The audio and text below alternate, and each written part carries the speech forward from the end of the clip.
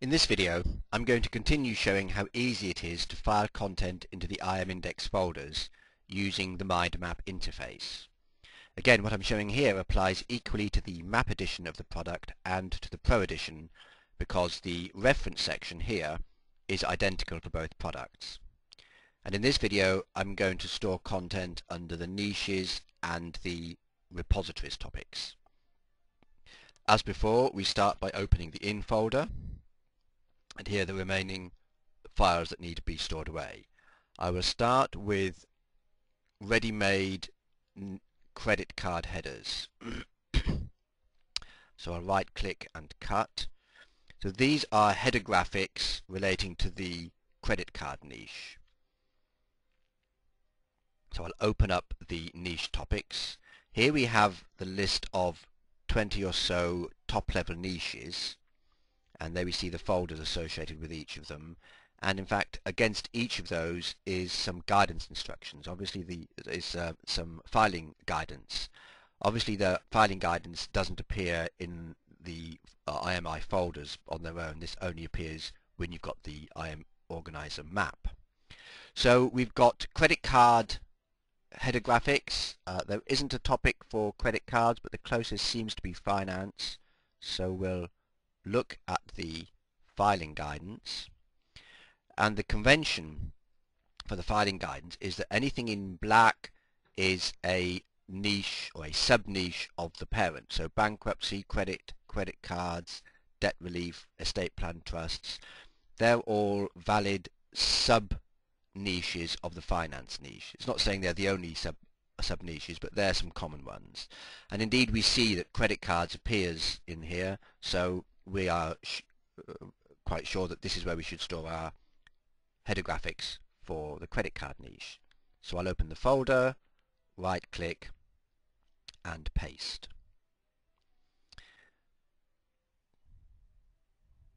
It's taking its time. There it is, ready-made credit card headers. Go back to the mind map, sorry, uh, and yes, mind map, open the in folder again look at our next file, which is uh, keywords. I use the convention, I haven't used it consistently in these examples, but generally I use the convention to put the type of content as a code in front of the file name. So KW for keywords, EBK for ebooks, AR for autoresponder uh, messages. If I was being consistent, this file would begin with TPL for templates.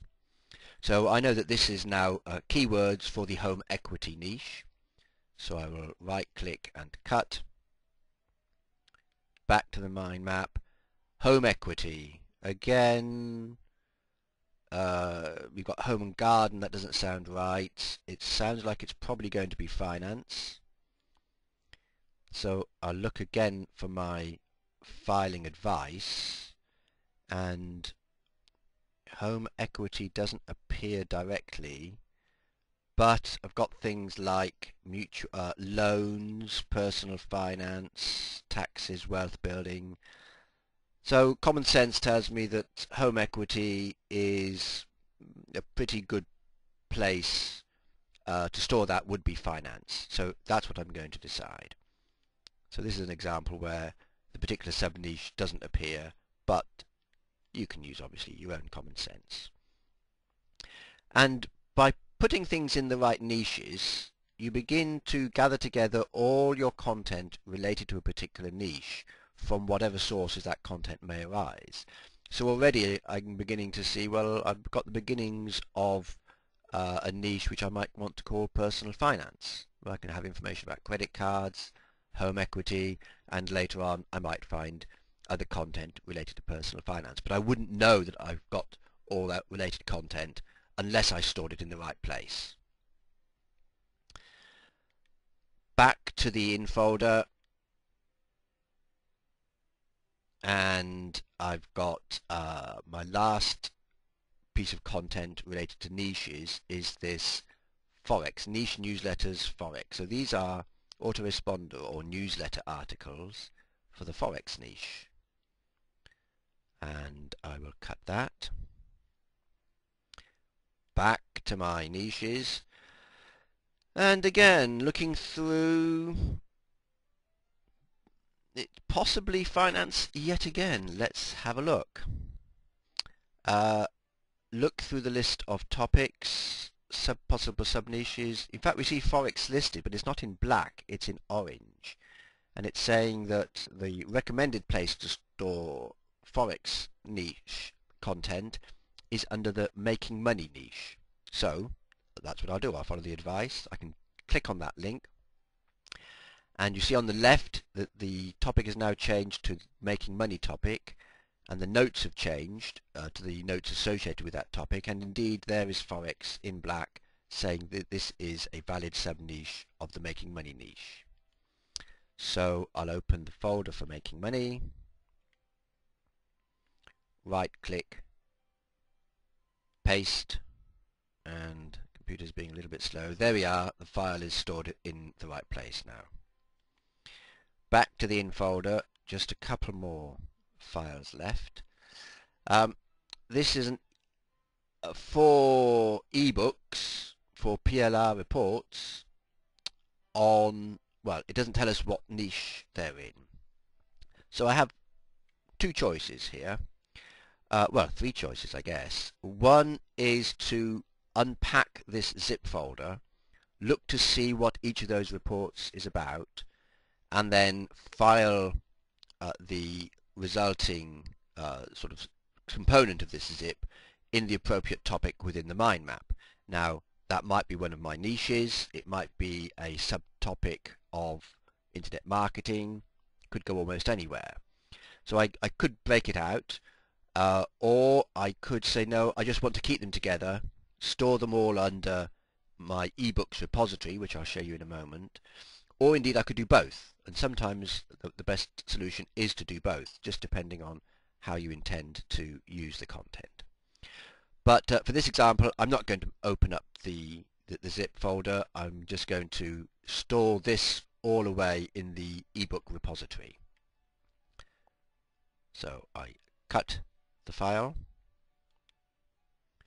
I can close down niches. Now I look in repositories. And repositories as I said before, the place where you store content that doesn't belong to any particular niche. It, it relates to multiple niches or multiple topics within internet marketing. And here are the list of repositories. Uh, here are the folders. Again, there is filing advice for each of them. Usually it's straightforward, but there are cases where things aren't that straightforward and the filing advice really can be very helpful. In this case it is straightforward. We've got PLR reports which are effectively ebooks. So I'm going to open up that folder, right click and paste and my file gets moved into the right place.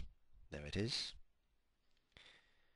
And back to the in folder, one last document left to file away video opt-in templates. So these are templates, obviously for they're opt-in for opt-in pages, but with the use of a video.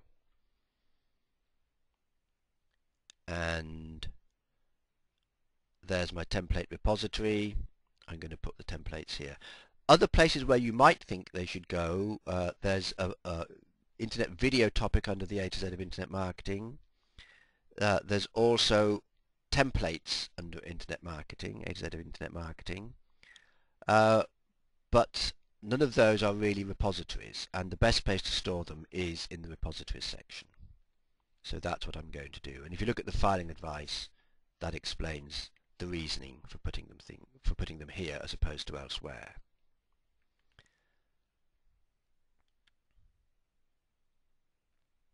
So there we are we've got the last file stored away and that completes guidance on how to store content into the reference section of your uh, folders using the mind map, either the Organizer Map or Organizer Pro. Thanks for your time.